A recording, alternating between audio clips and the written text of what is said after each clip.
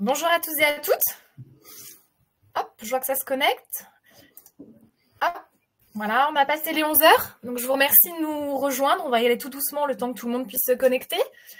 Donc, euh, je vous remercie de nous rejoindre pour ce webinaire dédié à la maîtrise des risques liés au photovoltaïque. Donc, euh, je suis Charlotte Moitié, responsable marketing pour le secteur énergie pour le groupe APAV. J'ai le plaisir aujourd'hui de vous accueillir euh, pour cet événement. Donc, aujourd'hui, nous avons avec nous Antoine Biscara, le responsable des marchés énergie renouvelable. Philippe Belon, qui est responsable du domaine performance des installations électriques, qui a un petit souci de connexion, mais qui devrait nous rejoindre en cours de route. Et Florent Lyon, qui est spécialiste national euh, du photovoltaïque. Donc, avant de rentrer dans le vif du sujet, euh, je me permets de vous faire un petit brief sur l'outil. Euh, tout au long donc de la présentation, vous avez un module questions qui est accessible sur la droite de votre écran. Donc, si vous avez besoin, vous posez les questions à cet endroit-là. Et euh, un temps spécifique sera dédié au traitement de ces questions à la fin. C'est-à-dire qu'on tout au long de la présentation, euh, on sera sur du descendant et l'échange se passera après. Euh, sachez que si des questions restent en suspens parce qu'il y en a trop, qu'on n'a pas le temps de répondre à toutes les questions, on s'engage à vous apporter une réponse à chacune de vos questions et des questions posées par mail après l'événement, dans les meilleurs délais bien naturellement. Euh, également, tout au long de la présentation, nous allons procéder à un petit sondage. Euh, ce sont quelques questions fermées, il y en a assez peu. Toutefois, je vous invite à vous prêter au jeu et, à y répondre. Nous, ça nous permet d'avoir quelques informations et de mieux vous connaître. Donc, c'est toujours sympa. Euh, sachez qu'à l'issue de, cette présentation, le support ne sera pas envoyé.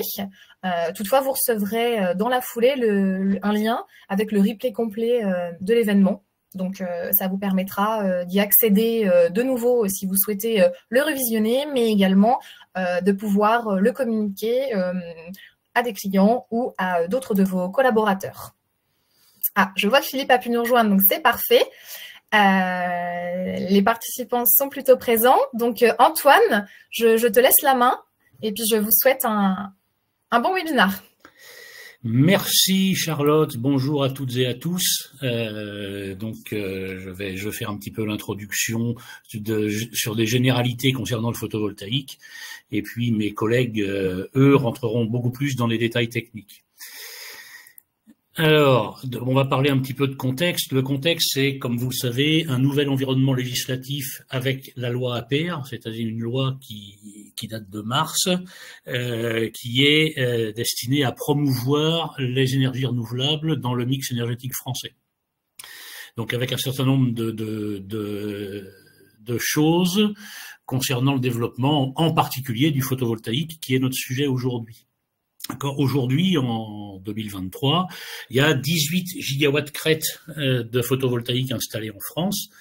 767 000 installations, mais il y en a beaucoup, il y a beaucoup d'installations individuelles là-dedans. Rien que sur le premier semestre 2023, 93 000 nouvelles installations. Euh, et puis donc euh, une production qui représente quand même, euh, là on est au premier semestre de 2022, j'avais pas peut-être pas d'autres chiffres. Ah non, si, c'est premier semestre 2023, pardon, 4,7% de l'électricité produite en France, ce qui est quand même euh, à, à, à, remarquer. Donc en fait, euh, mais comme vous le savez aussi, une croissance qui est quasiment exponentielle euh, dans un environnement législatif euh, particulièrement favorable avec la loi APR et évidemment la, loi de la programmation pluriannuelle de, de l'énergie. alors cet environnement législatif, euh, ben, vous voyez, l'objectif en 2028, 45 gigawatts crête, l'objectif en 2050, j'ai mis supérieur à 100, les, les, chiffres sont variables suivant les suivant les, les, les, sources que vous trouvez, mais enfin en clair, euh, des objectifs incroyablement ambitieux concernant le photovoltaïque en France, dans tous les domaines, posés, ombrières, bâtiments, agrivoltaïsme, etc., etc. Voilà. Donc, euh, que dit cette, loi APR Elle dit, bah, il, va, il faut implanter, il faut faire feu de tout bois et installer des panneaux voltaïques partout où on peut. En fait, c'est aussi simple que ça l'équation.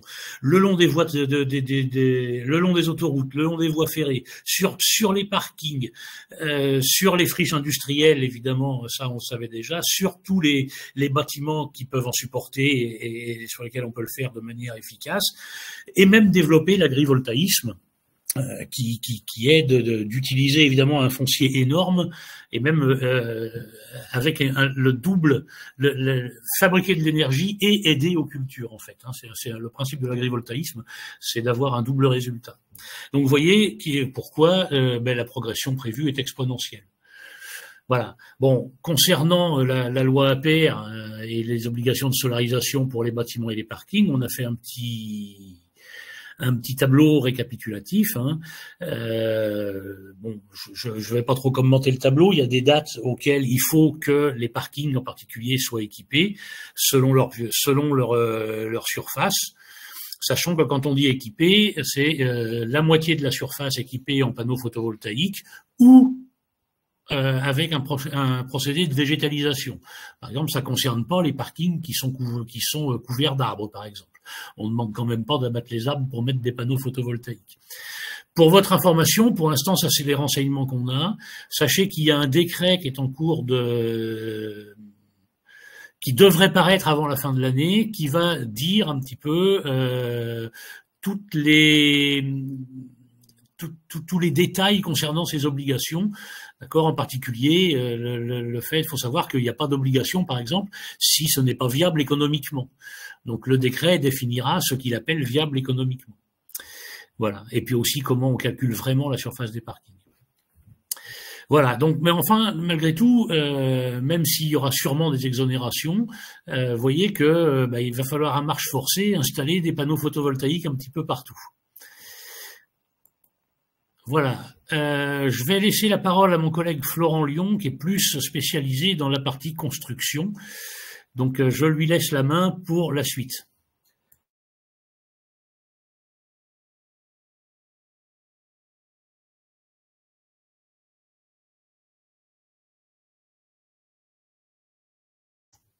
Antoine, est-ce que tu pourrais réactiver ton micro, s'il te plaît? On ne vous entend plus, messieurs. Pardon, excusez-moi. Donc je disais que je vais assurer la partie un peu, plus un peu technique, on va dire, construction de cette, de cette présentation. Euh, donc alors, il y a différents types, euh, on va dire, d'implantation. On a déjà parlé euh, de l'agrivoltaïsme, qui est effectivement le fait de coupler du, coupler du photovoltaïque à, des, à, une activité agricole. Euh, qui est une activité qui, est, bon, qui se développe, mais qui est relativement marginale encore aujourd'hui. Les techniques les plus courantes aujourd'hui sont principalement ce qu'on appelle les techniques de, de, ferme solaire au sol, dont je vais parler un petit peu après. Euh, des techniques d'ombrière aussi, donc euh, recouvrement de parking, comme Antoine l'a évoqué, et puis, puis bien sûr les techniques sur bâtiment, qui sont encore aujourd'hui les plus les plus courantes. Alors, quels sont les risques, euh, on va dire, à intégrer euh, dès la conception euh, dans une partie construction pour disposer d'une installation pérenne et efficace? Alors, si on fait un petit focus en commençant par les modules en centrale au sol, ça pourrait paraître assez simple en fait de faire des modules au sol. c'est pas exactement du bâtiment, il n'y a pas de fonction, on va dire étanchéité, clos et couvert, etc. Pour autant, c'est pas si simple que ça. voici les, principaux risques, sans être alarmiste, hein, on va dire les principaux risques euh, qu'on peut rencontrer dans l'installation d'une euh, dans une installation au sol. Alors la première concerne les hypothèses de charge climatique, c'est-à-dire le vent et la neige. Euh, comme on n'est pas exactement sur du, pas du tout même sur du bâtiment, c'est, ça reste assez compliqué d'évaluer proprement les charges de, de vent, notamment, puisque on n'a pas les, on dispose pas du code et des normes de dimensionnement qui sont celles du bâtiment.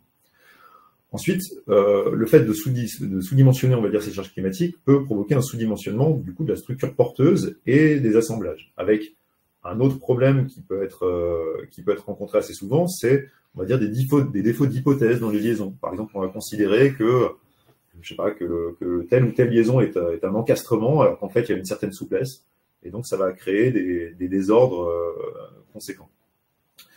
Ensuite, euh, on reste quand même sur un ouvrage qui effectivement pas un ouvrage de bâtiment, c'est-à-dire qu'on va être sur des choses qui vont être implantées ponctuellement, on le voit sur la photo, et donc on va pouvoir euh, peut-être rencontrer des défauts de tolérance d'implantation. C'est-à-dire que par exemple, on va considérer, on va pas réellement considérer que certaines charges sont désaxées. Alors j'ai mis volontairement le système le plus compliqué, on va dire le, système monopied avec très grand porte-à-faux, là on peut on peut se rendre compte qu'effectivement, si on n'a pas considéré euh, quelques défauts de, tolérance d'implantation, bah, on va avoir des charges qui vont partir à droite, partir à gauche. Et enfin, euh, un phénomène qui est propre aux, centrales au sol, et qui n'est pas, qui n'est pas pris en compte ou qui, qui, on va dire, qui pose problème dans les codes de calcul, c'est le fait qu'on est en effet cyclique. Effectivement, quand on va avoir quand on va, donc ici on a principalement un renvoi des charges sur les systèmes de fondation. Hein, on va regarder un petit peu après ce que, ce que peuvent être ces systèmes de fondation on a des effets cycliques dus au vent et qui vont solliciter de façon cyclique les fondations. Or ça, c'est pas un mode de sollicitation des fondations qu'on rencontre classiquement sur les bâtiments. Il existe bien sûr des référentiels euh, sur lesquels on peut s'appuyer pour le dimensionnement et la conception des modules en centrale de sol, mais qui sont, euh, comme je l'ai dit tout à l'heure, principalement des référentiels de type bâtiment. Alors on a l'Eurocode 7, qui, qui est la norme de dimensionnement pour les fondations, mais comme je le disais, euh, elle ne tient pas compte des effets de chargement cyclique, euh, puisque sur les bâtiments, on les rencontre, euh, on les rencontre très peu. Donc il y a effectivement cet Eurocode 7 qui, qui est, comme tous les autres Eurocodes d'ailleurs, hein, construction en cours de révision. Peut-être intégrera-t-il ce genre de ce genre de considération. Et puis on a une autre, on a un autre, on va dire, document de référence qui est en cours d'élaboration et qui concerne donc les recommandations relatives à la conception, au calcul et à l'exécution, contrôle et à la surveillance, ça se veut exhaustif, sur les fondations des structures photovoltaïques au sol. Il y a un groupe de travail en ce moment qui a lieu pour écrire ce document et bien sûr la PAV euh, participe à l'écriture de ce document qui euh, constituera référentiel pour le, pour le dimensionnement et la conception. Qu'est-ce qu'il faut retenir euh, de, ces modules en centrale au sol et comment, on va dire, comment on doit s'entourer pour que ça se passe le mieux possible? Donc, comme je vous l'ai dit tout à l'heure, un des principaux problèmes, c'est le sol. clairement, la réaction du sol et des fondations qui vont se trouver dedans. Donc, une étude de sol adaptée au projet en phase conception est primordiale pour que ça se passe bien. Euh, cette étude de sol va aboutir sur des modes de fondation envisageables, on a vu, a des fondations plus ou moins profondes. Euh, va aboutir aussi aux hypothèses de dimensionnement qu'il faut prendre en compte, euh, aux descentes de charges réelles, aux effets cycliques, non cycliques, etc. prise en compte éventuellement dans la note de calcul aussi des effets de désaxement. Et puis les dispositions particulières d'exécution et de contrôle.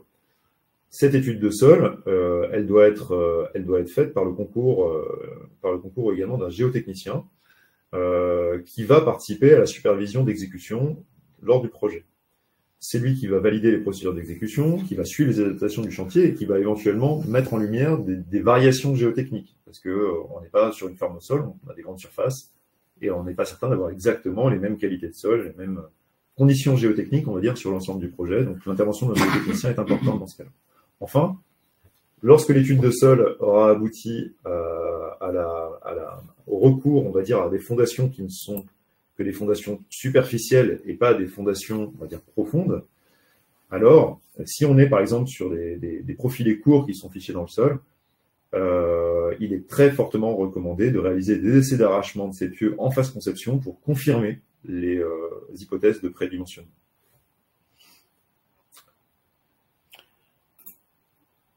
On va maintenant passer au système d'ombrière. Euh, donc voilà ce que voilà ce que constitue une ombrière. Donc une ombrière, c'est ni plus ni moins qu'un système de on va dire de, portique qui est mis en place sur un parking. Euh, c'est principalement en fait au sens où on l'entend aujourd'hui un problème de structure métallique. Hein. On trouve quelques ombrières qui sont portées par des structures bois, mais c'est quand même assez rare. Et donc, c'est principalement un, problème, effectivement, de dimensionnement euh, de, ces structures métalliques. Je fais juste un petit focus, sans aller trop loin euh, sur le sujet, sur les différents types de pannes qui sont mis en œuvre. On a vu euh, l'apparition depuis plusieurs années des pannes, des pannes dites en Z, c'est les premières que vous voyez là sur la gauche. ces pannes en Z sont pas à la portée de tout le monde en termes de dimensionnement. Elles présentent des, on va dire, des particularités de dimensionnement qui font que on a réellement besoin d'avoir un bureau d'études spécialisé sur la construction métallique, et notamment si on a recours à ces panneaux Z, qui ont tendance à se déverser, à présenter une forme d'instabilité. Idéalement, si vous pouvez passer sur des pannes qui ne sont pas en Z, euh, vous réduisez euh, très fortement le, risque de sinistre. Euh, dans ces ombrières, ça pourrait paraître assez, simple, parce qu'en fait, là aussi, on n'a pas de fonction clos et couvert, on n'attend pas réellement une étanchéité, hein, pas du tout d'ailleurs de cette partie-là, puisqu'elle est ouverte aux intempéries. Euh, donc, euh, on va avoir euh, un problème effectivement d'action climatique. En fait, quels sont les phénomènes qui peuvent se produire en termes d'action climatique, bah, notamment en fait une mauvaise prise en compte des charges de neige. alors, qu'est-ce qui peut se passer en fait avec les charges de neige? Vous voyez qu'ici, on est sur des ouvrages qui sont relativement peu pentus sur la photo, mais on peut avoir des, pentes qui sont relativement importantes quand même. Et donc, on peut avoir des risques de glissement de neige, parce que la surface des panneaux photovoltaïques est une surface qui est chaude. On va créer un petit film d'eau, et donc on va obtenir un glissement de la charge de neige qui n'est pas prévue dans les codes de dimensionnement, puisqu'elle ne se produit pas sur les ouvrages qui sont normalement isolés. Alors, je vous ai mis un petit exemple de ce que ça peut donner, un, glissement de neige sur bâtiment ou sur ombrière. Ben, voilà ce que ça peut donner. Donc on voit ici en bas à gauche, euh, un renfoncement de la partie bâtiment. Vous voyez, les charges de neige ont glissé le long de la pente, le long de photovoltaïque, et ont provoqué carrément un enfoncement euh, de la couverture en partie basse, là, proche de, l'égout. Et puis vous voyez à droite ce que ça peut provoquer sur une ombrière. On peut aller jusqu'à l'effondrement dans le cas de, de charge de neige euh, importante. Là, dans ce cas-là, la charge de neige classique et même accidentelle avait été dimensionnée, mais le glissement n'avait pas été vu. Et on s'est retrouvé bah, avec toute la neige d'un côté et très peu de l'autre. Ce phénomène, il est présent au-delà de 5% de pente, pour en tenir compte. Et en règle générale, bah, comme on n'a pas réellement ce qu'il faut dans le code de dimensionnement pour, euh, dans les normes de dimensionnement pour en tenir compte, bah, on est obligé un peu de, bricoler, on va dire, à dire d'experts sur les cas de charge que ça impose. Et on a tendance à considérer empiriquement que la moitié de la neige de l'ombrière va se retrouver sur l'autre moitié qui va donc prendre la totalité de la charge. Ensuite, on va passer euh, au bâtiment, puisque c'est encore ce qu'on rencontre le, plus fréquemment. On trouve deux types hein, de, Alors déjà, on fait la, distinction euh, entre ce qu'on appelle des éléments de couverture et des éléments de toiture. Donc, ce qu'on appelle éléments de couverture, c'est tout ce qui est toiture en pente, globalement, des fortes pentes. Et les toitures, c'est tout ce qu'on appelle, on va dire, toiture terrasse, toiture plate, euh, qu'on va trouver en dessous de 5%. Euh, puisqu'on est ici dans un, dans un webinaire pro, on va dire, j'ai pas fait de focus principal sur les, ce qu'on appelle les couvertures en petits éléments, parce qu'on les rencontre un petit peu moins, c'est-à-dire tout ce qui est euh, tuile terre cuite, ardoise. Euh, il y a bien sûr des projets euh, qui sont menés par des, par des maîtres d'ouvrage largement, très largement professionnels sur ce genre d'ouvrage, mais ça reste effectivement en volume moins important que par exemple bah, le type de couverture que je vous ai mis ici, qu'on appelle couverture en grand élément, qui est en fait une couverture réalisée avec des plaques, en l'occurrence des plaques d'acier nervuré de grande taille. Le système en fait le plus classique ici, c'est d'avoir des systèmes de clips hein, euh, qu'on voit ici, qui ont été pris sur la nervure, euh, qui sont clipsés, de, clipsés dessus, vissés dessus, euh, et donc les panneaux photovoltaïques qui reprennent, donc le cadre des panneaux photovoltaïques qui est repris par ce système. Alors là, c'est un système qui est assez simple, puisqu'en fait, on a simplement le type de clips qui est pris dessus. On peut avoir des systèmes plus compliqués avec des rails qui sont rajoutés, qui reviennent faire un cadre au-dessus des systèmes de fixation. Alors concrètement, qu'est-ce qu'on trouve comme, comme risque sur ces systèmes-là? Bah, Principalement, on va avoir des risques de stabilité des modules photovoltaïques eux-mêmes. Par exemple, si on a mal dimensionné euh, les systèmes de, de, de, pinces ici, de clips en aluminium, on va se retrouver des fois avec bah, des risques de déchaussement ou des risques d'envol hein, des panneaux. tout ça se dimensionne. Un, une précision qui est quand même importante sur le photovoltaïque, on a un corpus, euh, on va dire, référentiel et réglementaire sur la partie bâtiment aussi qui est assez, euh, assez pauvre encore aujourd'hui malheureusement. On n'a pas de DTU qui parle de comment faire du système photovoltaïque, donc la plupart des systèmes sont sont, disposent de leur propre évaluation. Euh, c'est un état de fait qui est, on va dire, assez logique euh, bah, du fait des, impulsions réglementaires qui ont été très fortes sur le photovoltaïque. On a eu euh, finalement un développement du marché qui était beaucoup plus important que l'écriture des textes qui peinent un petit peu à suivre derrière. Donc, principalement, risque de stabilité des modules photovoltaïques, risque de défaut d'étanchéité aussi, puisque là, vous voyez, bon, le système qu'on voit ici en photo a été plutôt bien pensé, puisqu'en fait, on n'est pas directement sur le plan d'étanchéité. On imagine que tout ça, ça va couler dans le fond des ondes et qu'on va avoir très peu d'eau qui va se trouver sur le dessus des ondes, donc ça passe, on va dire, plutôt bien. Euh, mais on a quand même des effets qui sont pas faciles à évaluer, des effets de fatigue, hein, au fur et à mesure que vous avez le vent qui vient tirer de façon cyclique sur les fixations. Euh, vous avez de la fatigue, du vieillissement des systèmes de fixation, euh, de la dilatation aussi différentielle, parce que vous recréez une sorte de plaque rigide au-dessus et la, couverture et le système photovoltaïque vont avoir tendance à gérer de façon un peu différente les dilatations thermiques qui sont importantes en toiture. Et tout ça peut créer des défauts d'étanchéité. D'où le fait que euh, les procédés sont évalués un par un sur leurs aspects mécaniques, sur leurs aspects de, de, capacité à laisser dilater la toiture qui est en dessous, à dilater eux-mêmes, etc. Enfin, risque d'effondrement, qui n'est pas le, moindre. euh, puisqu'en fait, on peut effectivement avoir, euh, il faut toujours avoir en tête que les éléments de couverture ici en grand élément sont des, euh, éléments qui ne sont pas censés être porteurs. Ils assurent que la fonction étanchéité. Donc, on s'assure quand on vient rajouter de la charge par-dessus qu'on va bien aller ressolliciter les éléments porteurs de la charpente et pas faire porter sur des éléments qui ne sont que des éléments de couverture. Donc, si on ne l'a pas fait, eh ben, on risque des ruptures de fixation, des effondrements, des déformations excessives qui vont créer des, problèmes. Euh, et toujours, euh, de la même façon pour les ombrières, des risques de glissement de neige. J'accélère un petit peu, parce que je vois que je retourne. Ensuite, donc là, on était sur les systèmes de couverture, là, on passe sur les systèmes de toiture. Alors, le principal système, on va dire, c'est un système qu'on dit surimposé en toiture. On va euh, venir recréer quelque chose au-dessus de la toiture pour faire porter le photovoltaïque. La solution que je vous propose ici, c'est la, seule solution qui peut être considérée comme, on va dire, traditionnelle. Euh, vous voyez ici sur la coupe qu'en fait, on a créé ce qu'on appelle des potelets pour aller chercher la structure qui est en dessous. Donc on a ces renvois de charge, donc l'élément ici, euh, le rectangle qui est ici, qui représente un équipement, euh, bah, on va renvoyer sa charge en traversant l'étanchéité, on va aller chercher le profilé en dessous qui constitue la charpente. C'est effectivement de cette façon qu'on incorpore des équipements de façon historique. Hein. Si je devais mettre une centrale de traitement d'air ou autre chose, je le ferais de cette façon-là. Je peux le faire aussi pour des centrales photovoltaïques. Le risque que ça présente, c'est que on multiplie les traversées d'étanchéité, on crée énormément de points singuliers qui vont être autant de raisons bah, de créer des problèmes de mise en œuvre. On va créer aussi beaucoup d'encombrements, ce qui va potentiellement créer des défauts d'entretien. On s'en rend compte, hein, aller sous les photovoltaïques, euh, sous les panneaux photovoltaïques pour voir si ça se passe bien, s'il n'y a pas d'encrassement, s'il n'y a pas quelque chose, bah, ça crée des, des, problèmes. Dans tous les cas, puisque je pense que vous êtes un maximum de, de, de, maîtres d'ouvrage euh, à écouter ce, cette intervention, retenez qu'un contrat d'entretien est primordial avec l'entreprise d'étanchéité. C'est pas obligatoire, mais c'est très très fortement recommandé déjà dans le cadre d'une toiture terrasse étanchée normale. Quand vous êtes en photovoltaïque, ça devient quasiment, à mon sens, vraiment obligatoire. Des risques d'effondrement qui sont dans ce cas-là assez limités puisqu'on a renvoyé les charges à la structure directement. Et puis, bah, comme on l'a dit tout à l'heure, pareil, des risques de stabilité des modules euh, photovoltaïques, par exemple, surtout les petits, les petits rails, les petites ossatures qu'on voit ici.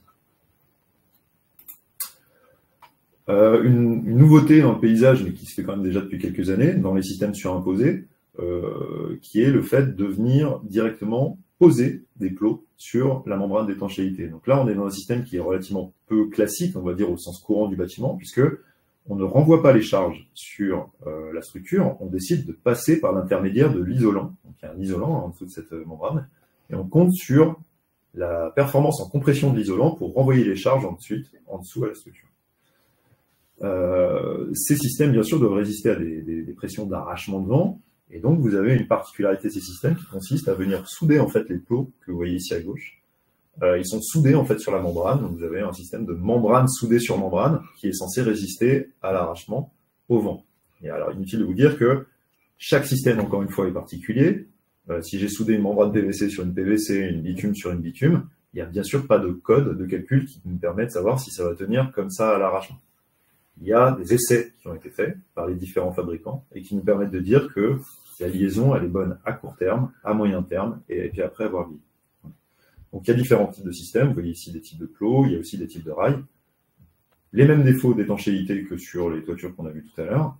Euh, un petit focus quand même sur le risque d'effondrement, puisqu'en fait, vous voyez que ces systèmes, ils vont avoir tendance à solliciter de façon ce qu'on appelle en charge ponctuelle les toitures. Or, il n'y a aucune charge aujourd'hui qui est considérée réellement comme ponctuelle en toiture. Donc, ça veut dire que ce sont des cas de charge qui sont nouveaux.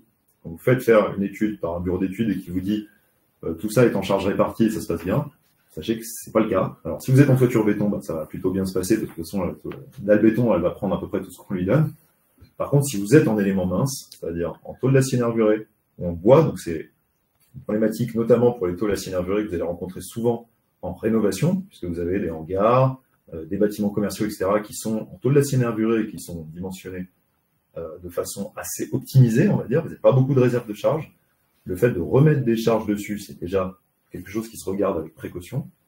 Le fait de mettre des charges ponctuelles en plus dessus, c'est quelque chose qui se regarde encore plus avec précaution. Souvent, vous allez devoir passer par un renforcement de la structure en dessous. Enfin, un dernier système qui pourra du coup vous intéresser si vous n'êtes pas très intéressé par le renforcement de votre structure. Euh, il existe des systèmes aussi qui sont beaucoup plus légers, euh, qu'on appelle systèmes souples, intégrés ou semi-intégrés. la photo que je vous ai mis à gauche, en fait, c'est un système de panneau photovoltaïque qui a été souple, qui a été collé sur une plaque, une plaque polymère, le tout étant fixé à l'étanchéité. L'avantage de ces systèmes, c'est qu'ils sont très euh, très, euh, ils présentent une masse qui est très très faible. Hein. on est de l'ordre de 3 kg par mètre carré, là où les systèmes photovoltaïques sont plutôt à 15-20. Euh, quand on est sur module classique, je veux dire.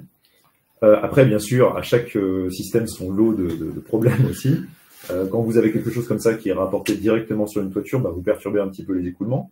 Vous créez une interaction qui est assez massive, on va dire, avec l'étanchéité. Donc ça veut dire que bah, vous pouvez éventuellement créer des problèmes sur l'étanchéité et sur l'entretien.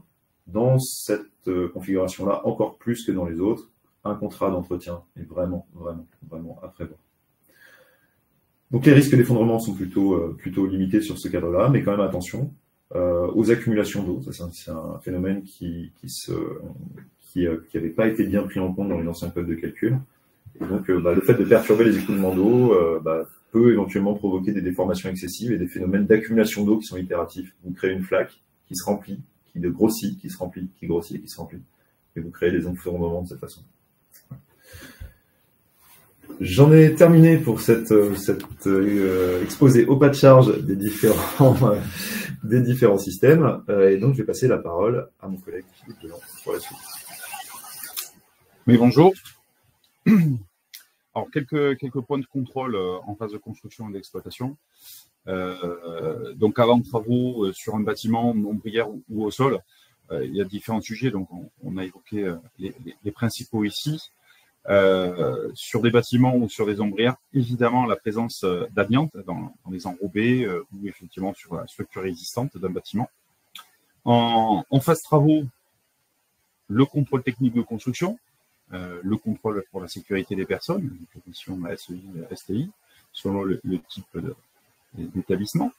Et puis, euh, pour la partie au sol, un, contrôle technique euh, de construction concernant la solidité, qui vient là aussi compléter la, présentation de, Florent précédemment. en phase réception, classique, le, le, consuel, la vérification initiale, obligatoire en, autoconsommation, c'est la particularité euh, du photovoltaïque. Aujourd'hui, on, passe en autoconsommation qui, devient un vrai sujet, on va en reparler. Et puis, euh, donc, les, les, contrôles qui sont euh, complémentaires, comme le, les contrôles ENR, certificat de producteur, qui, qui vient justifier la, mise en œuvre du projet de départ conformément à ce qui était prévu pour valider le contrat de rachat de l'énergie par EDF.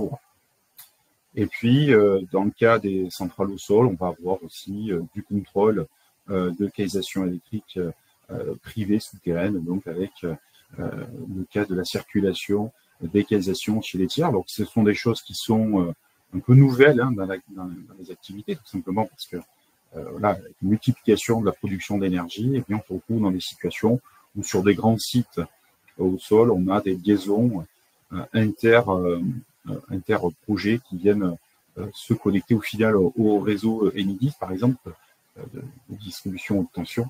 Et donc, effectivement, on a cette nouveauté, j'oserais dire, qui vient se greffer dans, dans la contrainte réglementaire. Ensuite, qu'est-ce qu'on a? Eh Bien, on a forcément crescendo au fur et à mesure de la puissance installée euh, des, euh, profils de raccordement en basse tension, haute tension, voire dans certains cas, euh, vous avez ici la, notion de HTB, donc sur, le réseau de transport. Donc on passe d'installations relativement simples à des, installations plus complexes. Et puis évidemment, on, change de, profil d'utilisateur, on passe du résidentiel sur des, établissements de code du travail, PME, PMI, établissements recevant du public, type euh, supermarché, et puis on passe évidemment sur des structures beaucoup plus grandes, et évidemment plus, euh, euh, les puissances en jeu sont importantes, c'est en adéquation avec la nature du, site, des ombrières, donc forcément les ombrières, si on imagine environ pour un hectare de surface, un mégawatt de produits au sol, eh bien voilà, ça donne un peu l'idée des, puissances en jeu rapidement sur des parkings que l'on peut que l'on peut équiper par exemple. Donc il y a aussi donc cette notion de contrôle qui, qui en gros existe uniquement à partir des, des 100 kW avec un contrat de, rachat EDF-OA, c'est pas la seule solution. Et puis aussi si on a un, un appel d'offres de la CRE, de la Commission de régulation de l'énergie, qui rend donc le mécanisme de rachat plus favorable. Et donc, il faut prouver que l'installation, encore une fois, est, conforme au projet euh, lors de sa réalisation. Donc le consuel, lui, euh, forcément, à partir du moment où euh, on est raccordé au réseau, au point de livraison, effectivement, il y a, cette obligation et cette nécessité traditionnellement de faire la, vérification de conformité à la norme de l'installation. le corpus normatif est aujourd'hui bien établi. C'est un petit peu le, le corpus réglementaire est plutôt euh, sur la partie euh, construction, comme le disait Florent, où il y a un petit peu de déficit.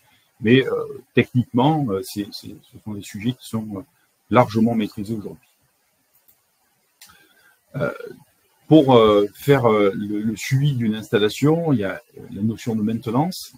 comme pour une toiture, comme l'évoquait Florent, on a sur la partie électrique une nécessité de suivi des installations, des paramètres remarquables à plusieurs titres. Le, la prévention du risque d'incendie, prévention du risque euh, de, choc électrique pour les personnes, ça c'est valable pour évidemment toutes les installations électriques, et euh, euh aussi le, la perte de performance, hein, c'est la particularité euh, que, que l'on recherche à avoir avec euh, une installation photovoltaïque, c'est sa production et, et, sa pérennité. Donc, euh, une des techniques, c'est bien sûr le mesurage, c'est le suivi des paramètres issus de la supervision intégrée au, système photovoltaïque, qu'il soit euh, domestique ou de forte puissance. Aujourd'hui, forcément, on a des, produits connectés qui permettent d'avoir des suivis.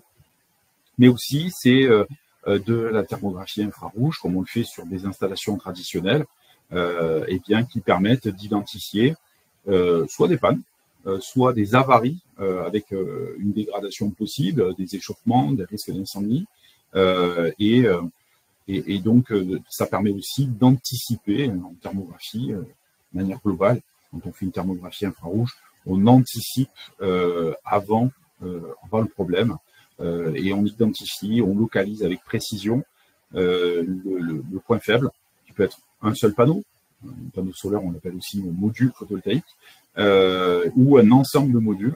Et donc, ça permet de rétablir rapidement la production et de retrouver donc euh, les niveaux euh, initiaux euh, qui étaient prévus.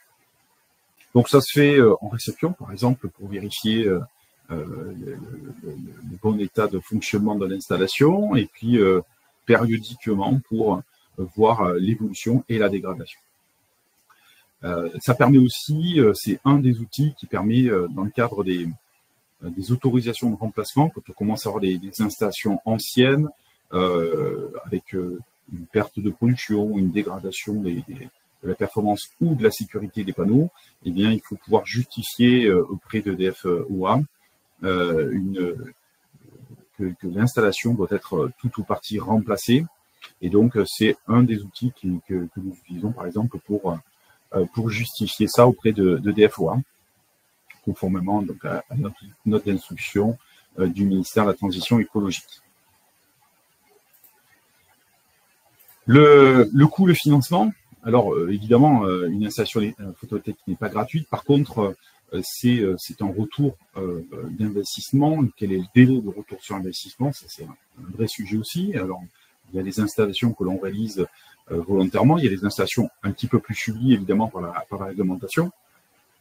un premier paramètre, c'est que le, prix du matériel photovoltaïque, malgré, le, on pourrait imaginer une tension sur le marché du fait que beaucoup d'installations sont réalisées, eh bien le, prix du matériel ne, cesse de diminuer, euh, certainement lié au ralentissement économique chinois, mais on a, euh, on a des prix extrêmement bas sur le, sur le matériel, que ce soit les modules, les onduleurs. Et donc, il est vrai que la rentabilité, l'amortissement est beaucoup plus rapide qu'il y a quelques années en arrière. Et puis, il reste à savoir ce que l'on veut faire. Est-ce qu'on fait de la revente totale, ce qui était la règle dans les années 2000 euh, de la production photovoltaïque, ou bien euh, de la revente partielle, c'est-à-dire que je vais lancer l'autoconsommation, et si euh, j'ai du surplus, eh bien je revends ce surplus, évidemment à un tarif inférieur à la revente totale, mais j'ai consommé l'énergie que je produis. Euh, ça me permet, euh, première chose, c'est d'éviter l'import euh, d'énergie, mais aussi de maîtriser du coup euh, un peu mieux le tarif. on a vu notamment avec tarifs qui ont explosé l'année dernière de, l'énergie sur les marchés, euh, la question de dire si je réduis mes consommations, mais si aussi je produis une énergie dont je connais le prix euh, constant, eh bien ça me permet de, réduire mes coûts de, possession et, d'approvisionnement et donc de, fonctionnement. Et puis arrive euh, sur le marché euh, le système de stockage. Euh, le système de stockage sur des usages de batteries, alors, soit neuf, soit en, en, réutilisation de batteries de véhicules électriques. le système de stockage, ça y est, c'est un lancement, beaucoup de sociétés se, mettent sur le marché. Euh, là aussi, on répond à des normes de construction avec des contraintes euh, qui peuvent apparaître aussi, mais c'est un autre moyen euh, euh, d'optimiser la production, c'est-à-dire que je ne cherche plus à revendre euh, même partiellement mon énergie, mais j'essaye de rendre de manière assez assez transparente mon installation vue du réseau, tout simplement en, en lissant mon importation d'énergie entre la production le stockage et ma consommation. Alors, euh, on parle de, en photovoltaïque de, puissance crête, hein, de, mégawatts, de, kilowatts crête. Euh, tout simplement, c'est le maximum que va pouvoir produire euh, dans l'exposition idéale solaire, 12 heures, heure solaire, qui, qui va nous donner donc cette puissance disponible maximale, quelques, quelques heures par an en réalité, euh, et puis euh, ne pas confondre avec donc euh, la puissance mégawatt consommée par exemple, ou encore le mégawattheure, l'énergie produite ou consommée dans une installation. Les différents dispositifs de soutien euh, sur, sur la rémunération, donc euh, on a des, arrêtés qui vont fixer les, les, tarifs. on va avoir aussi donc des contrats principalement des fois, d'autres euh, opportunités. Euh, il y a euh, des appels d'offres hein, qui, sont, lancés pour un certain volume d'énergie et ces appels d'offres sont pilotés par la commission de régulation de l'énergie. On a oui, un, un, budget de, 31 millions d'euros sur, sur la période 2021-2026. Donc là aussi, une motivation supplémentaire, tout simplement, là aussi, une contrainte réglementaire, mais euh, une motivation aussi euh, financière euh, pour, pour pousser à l'implantation dans les meilleures conditions. le coût d'investissement, c'est ça qu'il faut évidemment maîtriser. Alors, tout est tout est impacté aujourd'hui par, par le procédé d'intégration notamment. comme le présentait Florent, vous avez de l'ombrière, donc ça a un coût euh, sur un bâtiment, c'est un coût d'autant plus s'il y a des modifications, des renforcements de structure à. Euh, en plein sol, évidemment, c'est un autre coût. Et euh, tout ça fait varier le prix. Pour donner l'idée, aujourd'hui, le principal prix, ce n'est plus le module photovoltaïque, mais c'est vraiment la, structure, l'intégration, le procédé de fixation qui va, qui va être un point important du, prix de revient, encore une fois, du fait de la chute des prix euh, continue des, modules photovoltaïques.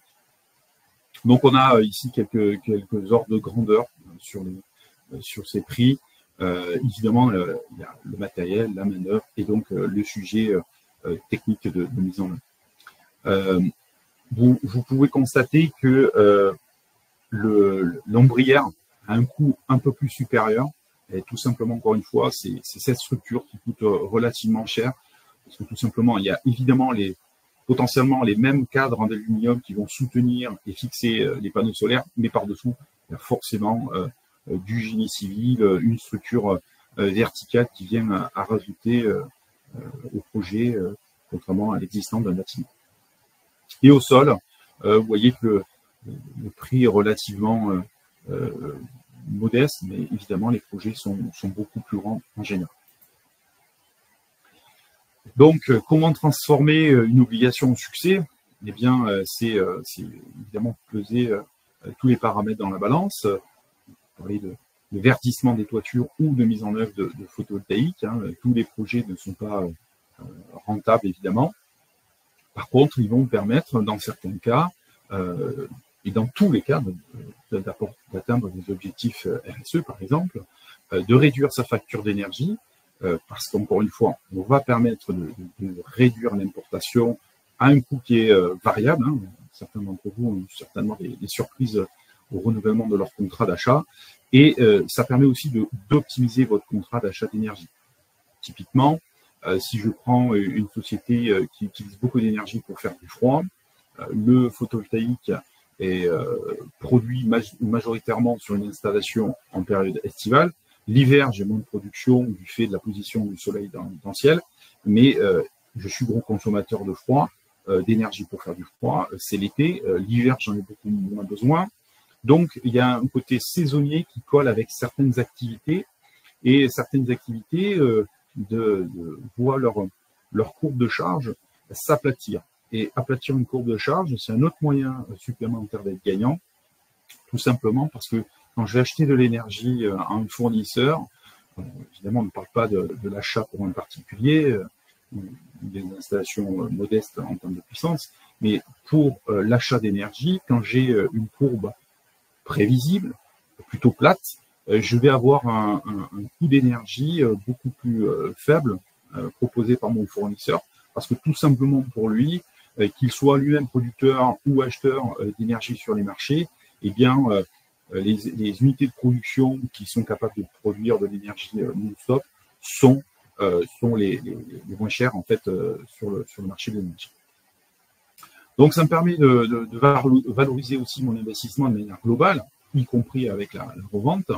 Et puis, euh, ça a permis aussi d'améliorer mon bilan de puissance, euh, tout simplement avec d'autres usages euh, qui arrivent, comme les IRVE, par exemple, les infrastructures de recharge de véhicules électriques, qui, par la force des choses, vont générer une nouvelle consommation dans les établissements, et donc de mélanger et de faire ce qu'on appelle depuis des années le mix énergétique, eh bien, notre propre mix énergétique à l'échelle d'un établissement permet de coupler consommation traditionnelle avec une volonté de réduire bien sûr euh, de ses consommations, mais aussi d'apporter euh, une réponse euh, aux besoins de recharge de véhicules électriques, d'intégrer le photovoltaïque et pourquoi pas de stocker là aussi pour encore une fois chercher à faire de l'optimisation d'énergie.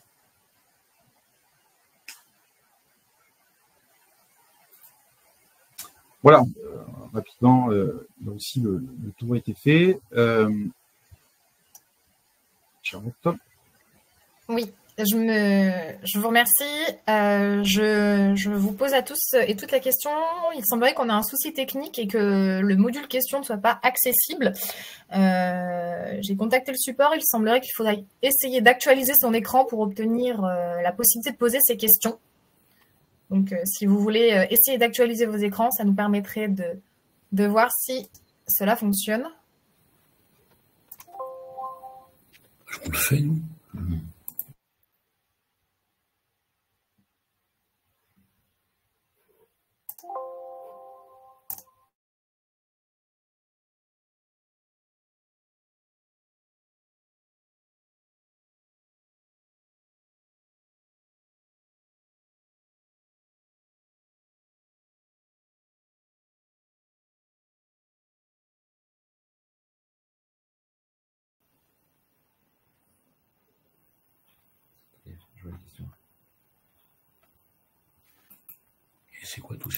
Euh, Les gens qui disent que ça a marché. À la norme NV 65 est-elle toujours applicable? Non.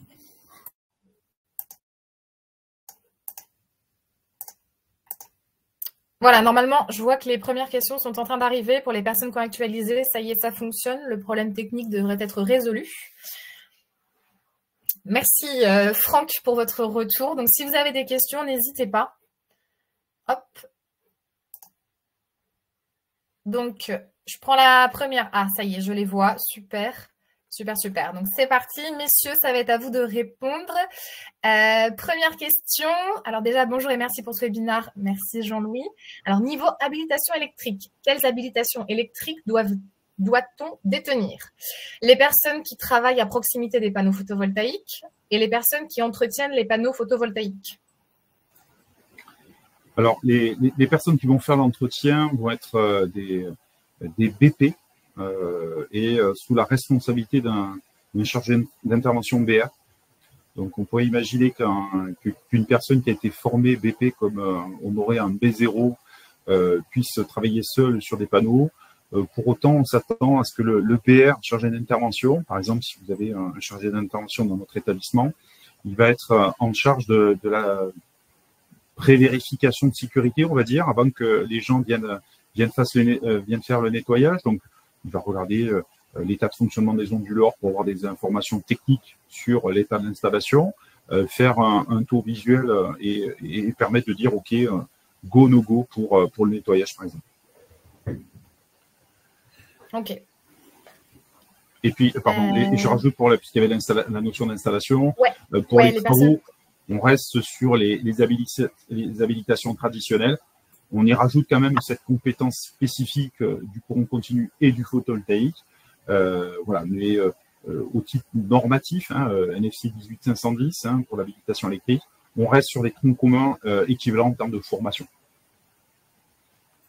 Très bien. Donc on a une autre question. Alors la norme NV65 est-elle toujours applicable? Elle semble plus conservatrice que les eurocodes. Oui, alors bonjour là. Sur les sur les, NV65 qui sont donc les règles neige et vent 65, on parle de la prise en considération des actions climatiques de neige et de vent. Alors c'est un petit peu compliqué. Euh, aujourd'hui, normalement, le corpus d'Eurocode, il s'applique euh, en tous les cas, donc la partie 1.4 euh, devrait s'appliquer, mais c'est vrai que sur les toitures des bâtiments, on a tendance euh, à, faire perdurer l'utilisation des NV65 qui sont effectivement très légèrement euh, conservatrices, mais il y a notamment un cahier du CSTB qui fait le, lien entre les actions climatiques euh, NV65 et les actions calculées à l'Eurocode, et on est vraiment sur on va dire quelques pourcents d'écart. Mais effectivement, c'est une particularité de continuer à considérer les NV65 dans le calcul des toitures. Euh, par contre, euh, on différencie effectivement en toiture les éléments qui portent l'étanchéité, donc qui portent, euh, qui sont support de, l'isolant, de la membrane, etc., avec la charpente qui, elle, doit vraiment impérativement être calculée aux eurocodes. parce que là, effectivement, ça change, ça change la donne et c'est obligatoire. Merci. On a une autre question. Quelles sont les dispositions à prendre en considération pour l'installation de panneaux photovoltaïques sur des sites Céveso, notamment vis-à-vis des risques incendies? Euh, Philippe, je ne sais pas. Si... Oui, oui, oui. Alors là, plus largement, on parle notamment de, de, risques ICPE et, effectivement, on va avoir des, contraintes supplémentaires. Euh, donc tout dépend euh, avec la démarche d'autorisation pour l'implantation, où est-ce qu'on implante les, panneaux solaires. Euh, et, derrière, il y a une, quelque part une refonte de l'analyse du risque sur l'établissement avec l'existence du panneau solaire pour faire euh, voir l'interaction. Euh, je dirais c'est un peu le même esprit de réflexion que l'on va avoir sur l'établissement du public, poussé à son extrême. Et, et, ce, qui est, ce qui est certain, c'est que ce qui va changer la, la chose, la donne, c'est que systématiquement, on va se retrouver avec une installation avec une protection foudre euh, par paratonnerre. Et effectivement, euh, là, techniquement, il va falloir euh, repenser une partie de l'installation photovoltaïque au risque qu'elle devienne un, élément fragile vis-à-vis de la foudre et, les risques accrus avec l'activité de, l'établissement. C'est un sujet assez, vaste. disons, il faut un peu plus de temps pour le développer. Ok, alors autre question, quelles sont les exigences spécifiques en prévention à évoquer dans le DIUO, pardon Dossier euh, d'intervention ultérieure sur l'ouvrage. Merci pour cette précision. Euh, et le PGC des futurs chantiers sur lesquels les panneaux photovoltaïques seront installés. Alors, j'ai pas de, de, de, réponse euh, toute faite à cette question, qui dépend évidemment énormément de, des technologies et de l'environnement et de l'implantation de, de, la centrale. Hein. Le DIO, donc, en fait c'est un document dans lequel on inventorie euh, des processus qui permettront de faire la maintenance en toute sécurité sur l'installation. Voilà. Au niveau du PGC, ça pas c'est il y aurait des exigences spécifiques au, au, niveau du, du, PGC, je ne sais pas ce qu'elles vont être. Peut-être au niveau des PPS-PS plutôt, euh, bah, parce qu'on va travailler avec des installations en courant continu, donc qui présentent un petit, des, des, des, risques un petit peu particuliers. J'ai pas plus de renseignements là-dessus. Je, je, Jean-Louis, si vous pouvez, on pourrait répondre plus précisément avec des, des spécialistes de la chose là, euh, un petit peu après la fin après notre, notre webinaire, euh, sur des éléments précis, on apporterait une réponse beaucoup plus précise. Voilà. D'accord. Merci. Pour, la partie électrique, euh, il y a des obligations de, de présenter euh, des règles d'intervention sur la partie consuelle, pour la partie consuelle, lors du consuel. Donc, euh, on, on, en vérifie l'existence, mais pas la pertinence. Donc, il y a une sacrée, une sacrée différence, un sacré écart à l'arrivée. Ok. Euh, les obligations présentées sur le slide 21 euh, sont-elles des obligations recommandées ou obligatoires dans les obligations réglementaires du slide 21 ah ben, euh, De mémoire, je crois que c'est Philippe qui les a présentées. Oui. C'est avant ça, encore? Oui, oui, bien avant, oui. Encore, encore, encore. Voilà, ici. Celle-ci. Oui. Juste après. Là, on est sur de recommandé ou obligatoire?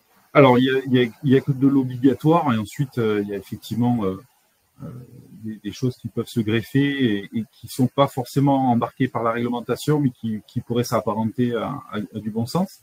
là, on a Florent parlait par exemple avant les travaux pour l'installation au sol, de faire intervenir un géotechnicien, mais forcément derrière, c'est, on l'a pas précisé ici, mais c'est, effectivement plus que nécessaire, on va dire. Bah, disons que pour le bon déroulement de la mission de contrôle technique des constructions qui va suivre, s'il n'y a pas eu ces, ces éléments euh, préalables, euh, il va y avoir des réserves, je pense. Alors juste un petit truc, hein, il y a une petite faute de frappe là au sol, évidemment, il n'y a pas besoin de mission LE. Hein. Oui. C'est une faute de frappe, c'est un copier-coller malheureux. euh, Sinon, tout le reste, la, visite initiale électrique n'est obligatoire que en autoconsommation, totale ou partielle. Hein. La visite initiale électrique au sens du Code du travail, au sens du décret du 2 avril, euh, du 2, non, du 26 décembre. 26 décembre 2011. Voilà, c'est ça. D'accord. Sur, euh, on continue. De toute façon, je pense que toutes les questions un peu spécifiques, on apportera euh, aux personnes qui ont posé et aux autres une réponse par écrit pour qu'il y ait plus d'informations. Euh, est-ce que le rendement des panneaux souples est identique aux panneaux rigides? Non. Euh, en règle générale, ça a tendance à venir on se challenger, mais globalement, c'est vrai qu'on a un rendement, une puissance, des rendements qui sont installés qui sont plus faibles sur les panneaux souples. Euh, ce qui conduit à des euh, surfaces installées plus grandes. Et d'ailleurs, ça peut nous poser un problème en toiture terrasse parce que il y a des règles d'encombrement à respecter sur les toitures terrasses, des zones de garde, on va dire, pour les circulations, pour l'entretien, etc. Et le fait d'avoir des panneaux qui sont un peu moins puissants, euh, bah, et avec un peu moins de rendement, bah, forcément, vous vous trouvez avec des surfaces installées qui sont plus grandes et avec du mal à respecter les règles de circulation. Ok. Et est-ce qu'on a une notion du pourcentage de perte de performance des panneaux souples par an? Non. normativement parlant, on est sur les mêmes. Normativement parlant, on est sur les mêmes règles que sur les autres euh, panneaux. D'accord. Ok, très bien. Euh, existe-t-il une pratique normative pour une intervention de pompier en cas de sinistre? Là, on touche l'opérationnel. Euh, il n'y a pas de règles normatives d'intervention. D'accord. À ne pas confondre entre les règles d'installation, qui peuvent être effectivement rendu obligatoire euh, pour la phase de construction par la commission de sécurité, avec euh, notamment un, appui sur l'avis euh, de la commission centrale de 2013. Euh, mhm. Pour ce qui est de l'intervention, euh, c'est, c'est, sont les règles opérationnelles qui s'appliquent par 10, par 10 donc c'est, particulier. Ceci dit, l'avis de la commission de sécurité s'appuie aussi sur ces pratiques. Hein. Il y a une corrélation entre qui va être demandé euh, en termes de mise en œuvre, de coupure d'urgence, etc., euh, par rapport aux pratiques opérationnelles. Euh, concernant les, les, parcs au sol euh, au milieu de la nature, euh, bien souvent au niveau de, enfin dans, les premières études de, faisabilité, euh, il est bon d'intégrer les SDIS parce qu'ils ont ils ont un certain nombre d'exigences concernant par exemple si vous faites un parc de 15 mégawatts au, au milieu de, de, la forêt des Landes, euh, c'est clair qu'il faut intégrer les, les, les, services de secours dès les premières études de conception, ils vont réclamer des systèmes d'accès. Ils, ils vont pas être contre parce que eux, au contraire, ils peuvent s'appuyer sur ces parcs euh, pour euh, lutter contre d'autres incendies, en fait. Parce qu'ils ont, des zones comme ça qui sont alimentées où ils peuvent, intervenir. Mais sur ces gros parcs dans la nature, oui, euh, il est bon d'intégrer les SDIS euh, très en amont ils vont avoir des exigences sur les, les, les, la largeur des voies et des voies d'accès, etc., les portails, les clôtures, etc. Oui, en général, trois points principaux circulation, euh, aire de retournement et stock d'eau. Exactement. Ok, donc il nous reste trois minutes. Euh, donc je vois qu'il y a quand même beaucoup de questions auxquelles on n'aura pas le temps de répondre, auxquelles donc on apportera une réponse par mail euh, à la suite du, du webinaire naturellement. Euh, je prends, donc là, je prends un peu les dernières arrivées. Euh, quelle est la part du marché européen sur le solaire photovoltaïque? Est-ce que nous avons des risques liés aux panneaux venant de l'étranger en termes de garantie et fiabilité? Est-ce qu'on a un REX là-dessus ou pas? Alors, je ne sais pas si on a un risque. Ils viennent tous de l'étranger pour l'instant. Donc, euh, le, la, la, la, alors, sachant que malgré tout, l'Europe se réveille et qu'on est en train de construire de, des gigafactories, comme on dit, pour produire du panneau photovoltaïque. Il y en a une, je ne sais plus si en Alsace ou en Lorraine. Euh, euh, Elio, euh, ouais. Euh, et puis il y en a une autre du côté de également dans le sud. Enfin, il y a des projets de construction du, de, de construction d'usines pour produire pour le marché européen, euh, de, de, les panneaux photovoltaïques, on, on, a vu en introduction qu'il y a une croissance exponentielle. C'est clair que euh, on peut pas se permettre d'être dépendant. C'est vrai, c'est pareil que pour les batteries des voitures électriques en fait. Donc aujourd'hui, c'est clair, tout vient d'Asie ou quasiment. Euh, mm -hmm. enfin, peut-être pas tout, mais enfin l'immense majorité. L'immense majorité. Voilà, mais euh, demain, la, la volonté de, européenne, c'est d'avoir une production propre et, et, et, on est en train d'investir pour ça. Voilà. Très bien. Euh, pour les projets au sol, une étude d'impact environnemental est-elle obligatoire? Alors, pas systématiquement. Euh, ça, c'est une activité qui est portée par nos, nos collègues du Conseil. Euh, c'est un seuil de puissance et effectivement, il y a de la réglementation là-dessus. Mais on pourra préciser effectivement ultérieurement la, les seuils oui, de toute façon, on apportera à toutes les questions une précision euh, plus, ouais. plus approfondie. À, à, partir de quand on rentre dans la réglementation ICPE Oui, je n'ai pas la réponse là, donc on apportera une réponse écrite. Ça. Voilà. Et donc, dans la minute qu'il nous reste, je prends une dernière question un peu au hasard. Euh, pour l'entretien des panneaux, quelles sont les prestations à préconiser et à quelle fréquence? Alors, la fréquence, c'est une question de d'encrassement. Euh, un panneau solaire qui, qui prend euh, un peu de poussière au quotidien, on ne parle pas de, de, de pluie ou d'exposition euh, ardue à, à, de la poussière, mais un empoussièrement naturel, ça peut faire chuter jusqu'à une vingtaine de pourcents la production. Donc okay. c'est euh, après à adapter en fonction du lieu d'implantation, de l'inclinaison aussi, parce que un panneau à plat va avoir tendance à s'encrasser et euh, plus facilement, puisqu'il n'y a pas l'effet de nettoyage avec euh, comme on l'aurait avec la pente.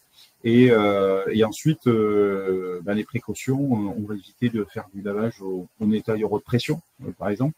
Il y a des outils aujourd'hui, que ce soit pour les grands champs, avec des systèmes sur, sur tracteurs automatisés qui permettent de faire du nettoyage, ou des, des, des, balais adaptés pour éviter de dégrader la surface, tout simplement, parce que si on dégrade la surface, on va perdre aussi de la production, donc euh, et puis aussi de la sécurité. Hein.